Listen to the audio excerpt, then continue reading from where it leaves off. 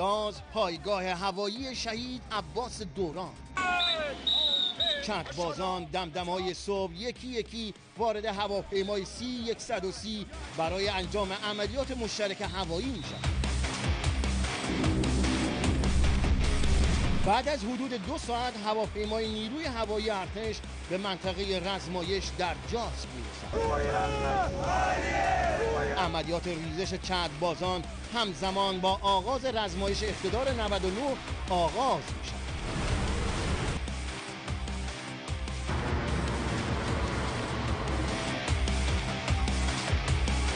قریب 300 چند باز در آسمان منطقه جاس قدرت نمایی می‌کنه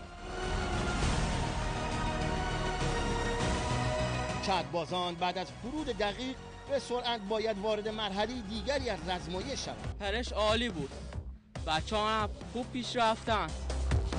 دقایقی بعد هم هواپیماهای سی 130 اقدام به بارریزی تسلیحات و تجهیزات نظامی نظیر موتورسیکلت ها موشک اندازای 107 میلیمتری و انواع خودروهای تاکتیکی می در ادامه موشک اندازهای 107 میلیمتری اقدام به هدف گیری مواضع تعیین شده می برد خود راکت اندازات تقریبا 8 کیلومتره. با حرکت نفربرهایی که توپهای سی میلیمتری بر روی آنها نصب شده منطقه زیر آتش پرقدرت قرار اما در قسمت دیگری از منطقه رزمایش قواسان چند باز آماده یک عملیات میشن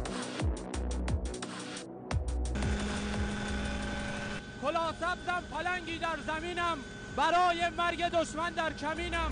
دقایقی بعد بادگرد شنوک در نزدیکترین نقطه به دریا قرار.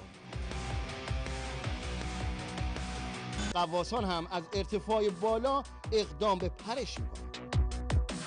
این نیروهای زبده بعد از پرش به درون آب گروهی از آنها در زیر آب اقدام به نصب مواد منفجره بر روی شناورهای تعیین شده می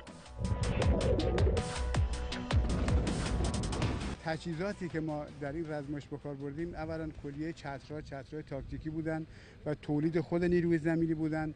تاکتیک ترکیبی نیروی کماندو چترباز و زرهی رو با هم تلفیق کردیم. ادامه سلسله رزمایش هایی که انجام شد در طول این مدت این هم یک نمونه از فعالیت های نیروی زمینی ارتش جمهوری اسلامی ایران بود که کار انتقال سریع نیرو از یک نقطه از کشور به یک نقطه دیگر رو انجام دادن. در واقع کار نیروهای چند مهارته رو اینجا شما مشاهده فرمودید. رزمایش اقتدار 99 تا فردا ادامه دارد. رزمایش نیروی زمینی در واقع اقتدار این نیرو است. اقتداری که در کنار نیروهای مسلح می شود عزت سربلندی و ایستادگی ایران اسلامی.